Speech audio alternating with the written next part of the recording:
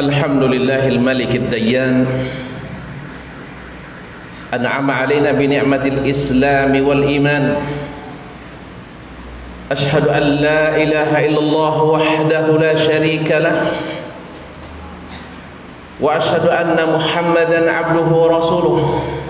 لا نبي بعده.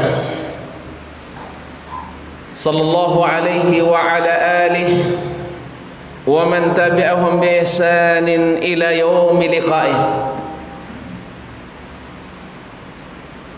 يا أيها الذين آمنوا اتقوا الله حق تقاته وتن إلا وأنتم مسلمون.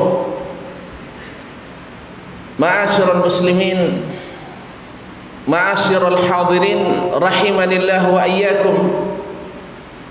adalah nikmat yang besar.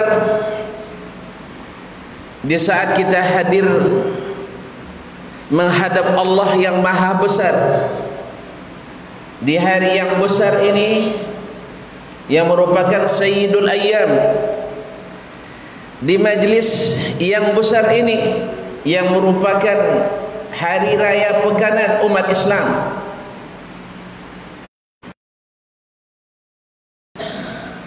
Padanya kepada hamba-hambanya banyak sekali keutamaan.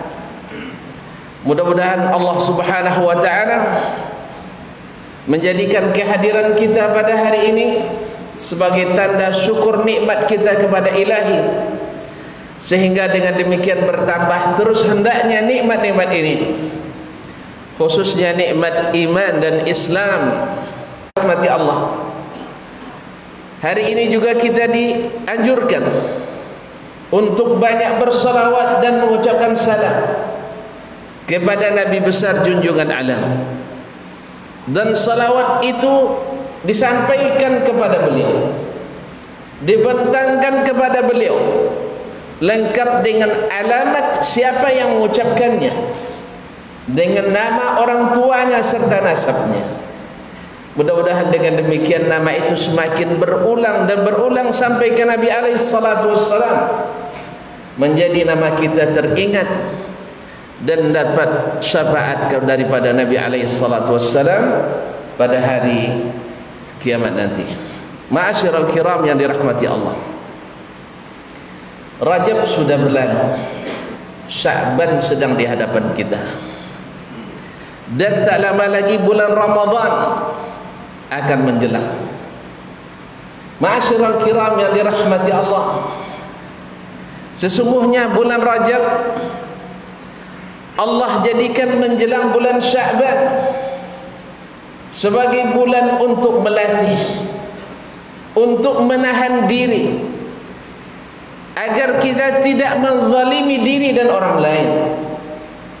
Inna iddatash-shuhuri 'inda Allah 12 syahran fi kitabillah Yawma khalaqas samawati wal arda minha arba'atun hurum. Fala tazlimu fihinna anfusakum. Al-ayah. Sesungguhnya bilangan bulan di sisi Allah Adalah 12 bulan dalam kitab Allah Sejak diciptakannya langit dan bumi Empat di antaranya adalah bulan-bulan haram. Di antaranya adalah bulan Rajab. Maka janganlah kalian menzalimi diri kalian pada hari-hari bulan Rajab tersebut. Menzalimi diri artinya tidak melaksanakan perintah-perintah Allah atau melanggar larangan-larangan Allah. Maka siapa yang ingin menghadapi Ramadan dengan yang diharap-harapkan seperti seseorang mengharapkan datangnya musim panen raya mendapatkan hasil yang sangat maksimal dan paripurna. Tetapi siapa yang tidak menanam di bulan Rajab?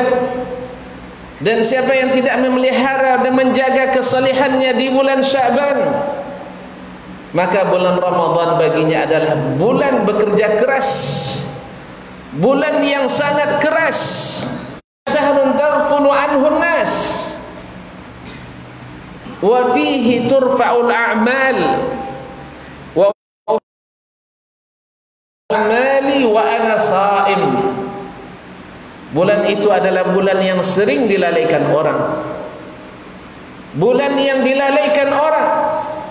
Padahal pada bulan itu padahal bulan itu adalah bulan diangkatnya rekap amalan kita dalam setahun kepada Allah Subhanahu wa taala wa uhibbu an turfa'a a'mali wa ana sha'im hikmah bagaimana besarnya pahala? Bagaimana besarnya kebaikan?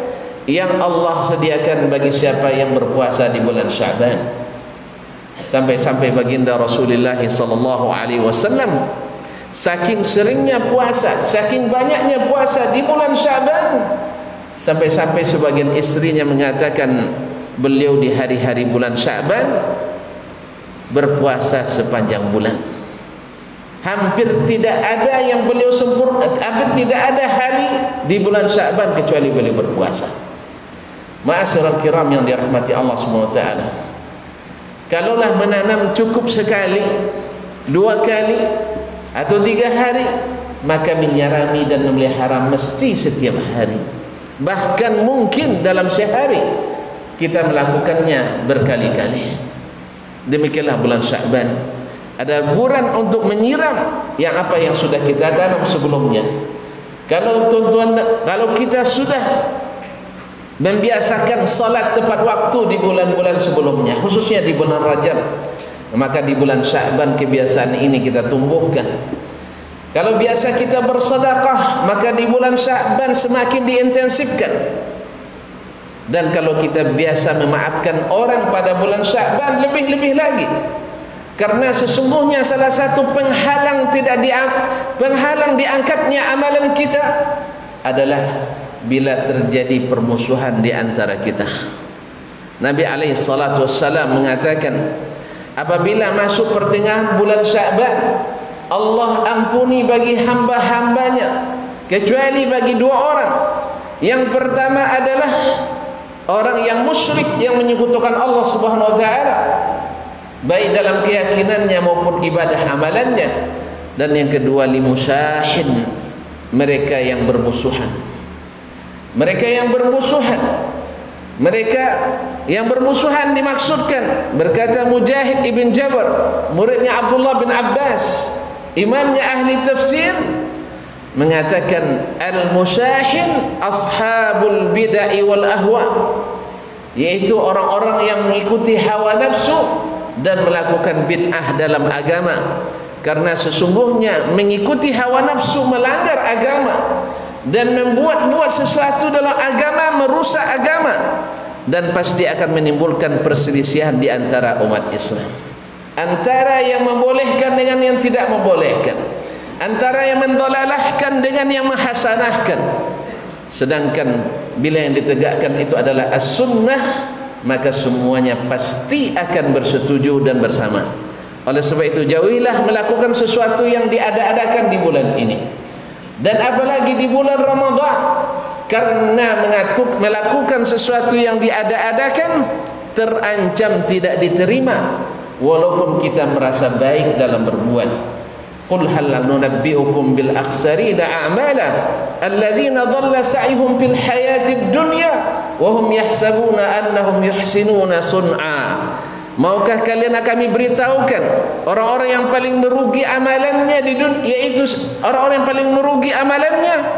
Mereka adalah yang sesat usahanya amalannya ketika di dunia dan mereka mengira telah berbuat baik. Maka kembalilah kepada Rasulullah sallallahu alaihi wasallam. Karena beliau adalah imam kita. Beliau lah yang menyatukan di antara kita. Beliau lah yang kita sepakat mengikutinya dengan satu kata. Sedangkan melakukan sesuatu yang baru dalam agama Akan menimbulkan permusuhan dan perselisihan di antara umat kita. Kembalilah kepada Rasulullah sallallahu alaihi wasallam. Ma'asyiral kiram yang dirahmati Allah.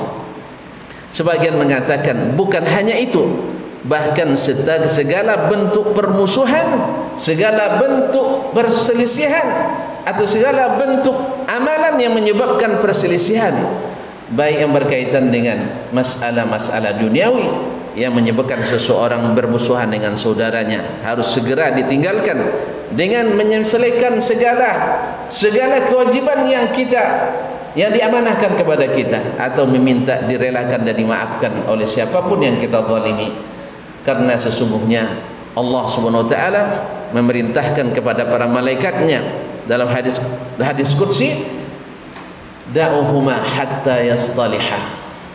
Tinggalkan amalan orang ini dulu jangan diangkat sampai keduanya berdamai kembali. Maka bulan Ramadan adalah bulannya orang-orang takwa. Dan bulan Ramadan adalah bulan saling memaafkan. Karena tidak mungkin seseorang mencapai nilai takwa kecuali suka memaafkan di antara kaum muslimin. Masyiral kiram yang dirahmati Allah, mudah-mudahan Ramadan yang sudah dekat insyaallah semakin lekat di hati kita dan jadikanlah bulan Syaban ini bulan memelihara sesungguhnya insyaallah di bulan Ramadan kita tinggal memanen buahnya.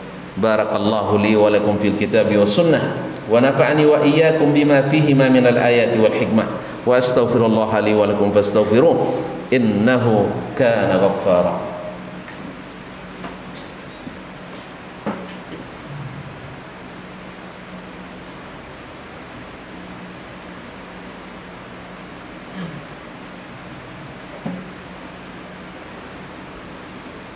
إن الحمد لله والصلاة والسلام على رسول الله وعلى آله وأصحابه ومن والاه. أشهد أن لا إله إلا الله وحده لا شريك له وأشهد أن محمدا عبده ورسوله لا نبي بعده. يا أيها الذين آمنوا اتقوا الله حق تقاته ولا تموتن إلا وأنتم مسلمون. معاشر الكرام sedang jemaah yang dirahmati Allah Subhanahu wa taala dijadikannya bulan Sya'ban sebagai mukaddimah sebelum datangnya bulan Ramadan. Adalah ibarat sunat-sunat rawatib dan yang yang mengawali salat-salat wajib.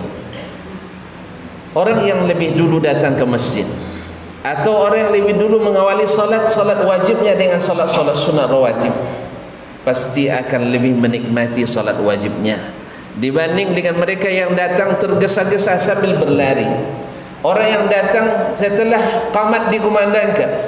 Orang yang datang setelah beberapa atau sebagian rakaat sudah hilang. Akan berbeda dengan mereka yang memang dari awalnya sudah datang. Karena memulai puasa di bulan Sya'ban adalah bukti kegembiraan dengan datangnya bulan Ramadan. Bukti kesiapan kita menyambut bulan Ramadan bukan hanya dengan sekedar menyiapkan bahan makanan, bukan hanya setiap, setiap dengan hanya menyiapkan acara-acara dan perayaan tetapi sesungguhnya adalah ruh yang diisi dengan iman. Ruh yang diisi dengan ilmu yang sahih. Ruh yang diisi dengan ilmu dan amal yang saleh yang insyaallah berbuaran ketika kita datang di bulan Ramadan. Mudah-mudahan Allah SWT memberikan waktu ini waktu yang bisa kita manfaatkan. Mudah-mudahan semuanya mendapatkan tujuan dari puasa Ramadan yaitu la'allakum tattaqun agar kalian bertakwa dan takwa berbuah surga yang luasnya seluas langit dan bumi disiapkan untuk orang-orang yang bertakwa. Inna Allah malaikatahu yusalluna ala nabi. Ya ayyuhalladzina amanu sallu alaihi wa sallimu taslima. Allahumma salli ala Muhammad wa ala ali Muhammad Kama sallaita ala Ibrahim wa ala ali Ibrahim. Innaka hamidun majid.